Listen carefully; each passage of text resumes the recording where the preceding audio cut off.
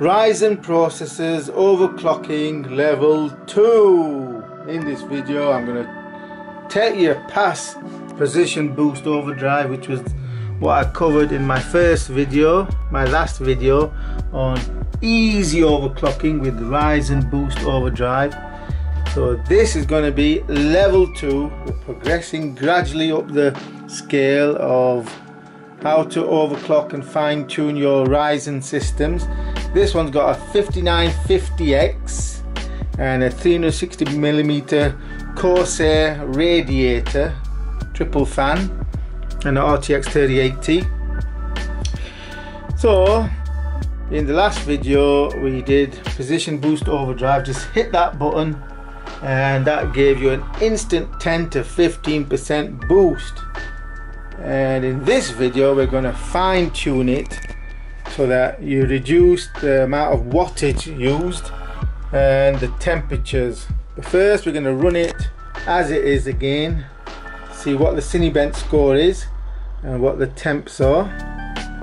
So I'm going to run Cinebench now. Oh 20 I've got aggressive cooling in the system so the fans will ramp up look at that the temperatures shot up. 81.5 degrees 82.4 82.3 can hear the fans going. Nearly 83 now. Fans are going fast. So this is a precision boost overdrive and that's finished. 10,241 now that might sound low for a 5950X but this system has a lot of apps open as you can see Excel and loads more. And it's across three screens as well so there's that. Normally it would be higher than that around 10,600 if it was just fresh boot. So let's look at the temperature. What was the max temperature? So as a guide we got 10,200 on 241 on Cinebench and we got a max temperature 82.8 max wattage was 229 watts so it didn't use much. And we'll reset those. There we go. So what we're going to aim to do is to retain that Cinebench score but reduce the wattage and the temperature the max temperature. For that, we click auto overclocking. You go to the auto, auto overclocking and click it, and then you're ready to change these figures. I already set this one to, that'll be zero on yours. Just set it to 200 to give the CPU a boost overdrive. That's 200 megahertz. If it needs to, it will, let's reset the top graph. It would have run it with it, isn't it? Yeah I would boost it from 4.2 to 4.4 gigahertz. So that's the first thing to change. You might have to reboot the system before you can apply these settings. Um, that's something to take into note? When you click apply you might have to reboot it. But the first setting to change is to set that to 200 megahertz to boost your CPU the next is PPT that's peak power wattage now that's 395 this motherboard can deliver. However, the peak used was 230. So what we're going to do that is to reduce that a lot. That will affect the temperature. So we'll reduce that to one in this board in on for this CPU to 188. So that will reduce the max wattage from 230 to 188 for the 5950X. Next will be TDC and EDC. We will reduce the TDC to 144 and the EDC, the peak, to 160. Okay, you can play around with these figures to fine tune, but I'm going to reduce that. We'll see what happens to temperatures and the Cinebench R20 score if it stays the same it might even go up which is reducing the temps. Okay, now I'm going to apply these settings. It's applied. We're now ready to go. And we'll see what happens to the watt. The wattage will be now capped at 188. So 184, 188. Temperature went up to. It's not gone up yet. Just 70. 71 and the Cinebench score is nearly finished I get the impression it's doing slightly faster than last time the fans aren't ramping up that's for sure we got a slightly higher Cinebench R20 score see it was 10,240 now it's 10,262 and the temperature is hardly registered. Look at the difference. That was the peak temperature. Now it was 71 point well what was it about 70 whatever that is. And wattage was there so we reduce it a little bit more yeah we can reduce uh, we, here we can see if we reduce TDC to 142 and EDC to 158 see what difference that makes. Click apply and run reduced the amount of wattage used again without reducing the watts. Now it's 187 marginally less. Temperatures 72 you know it's a smaller peak than before. Uh, whilst the megahertz is similar gigahertz. 72.6 we've got a smaller peak in the temperature okay what's the Cinebench score? It's gone down a little bit. So what we'll do we'll put those back up.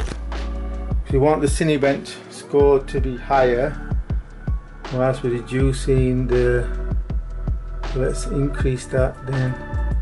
145 and 162 and we'll reduce the power to 184 click apply and we'll run Cinebench R20 score again it says basically you're fine tuning wattage TDC and EDC to so as to maximize Cinebench R20 score whilst minimizing temperature. Look, it's only 70.4 I'm seeing there. Now let's see if we can get back over 10,240 a lower wattage, slightly lower wattage, see 184. Let's see what that delivers. Oh, it's gone down. We'll have to put the wattage back up so we'll increase the wattage to 180 190 so it's a balancing act basically level 2 you're adjusting the various settings. Fan suddenly gone off. Quiet. Okay so we're to apply. I'll just increase PPT to 190 that's the wattage. I'm to run Cinebench again and see if we can get better than the 10260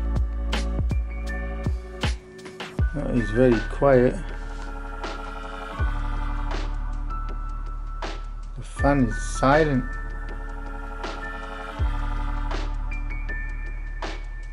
too silent hmm.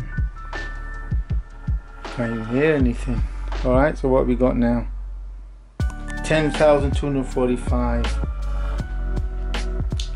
So it is very quiet.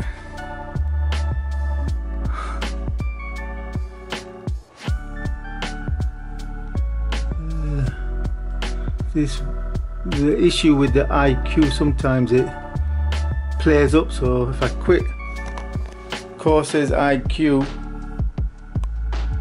the fan should start ramping up uh, we can reduce TDC to 144 and increase PPT to 192 so we can get a little bit better Cinebench R20 score so let's run that now so the question of fine tuning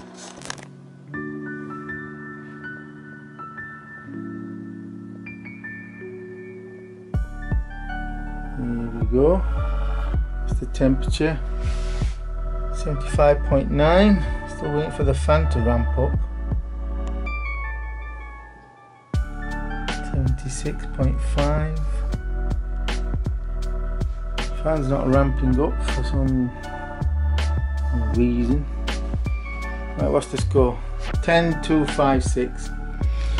So I'm to leave it at that and that's at level 2 overclocking basically where you reduce the wattage and the other limits from precision boost overdrive maximum.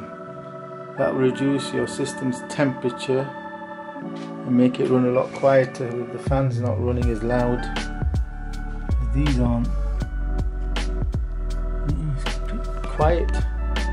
And the peak temperature was a lot lower than previously so that's level 2 overclocking. Level 3 will be in the next video which will be manual. I'll take you through that manual setting reset. Uh, oh yeah, I'll give you another tip. Well uh, shall I save it to the next video? Well in, if you go in the BIOS you can set the temperature limit. Here it's 90 but you can reduce the limit. That's a bit like a power limit. So it throttles that here it's set to 90 but you can reduce that temperature limit. That means you'll throttle the CPU earlier. So if you say set it at 82 you'll throttle the CPU cut the temperature down. So it doesn't go over 82 but if you use these limits like PPT and TDC and EDC then you won't go over 80 anyway. Not on a 5950X, it'll be lower on other processors anyway we've achieved the same Cinebench R20 score with a lot less power consumption than 395 although it's going to 230 with achieving the same Cinebench score consuming about 40 watts more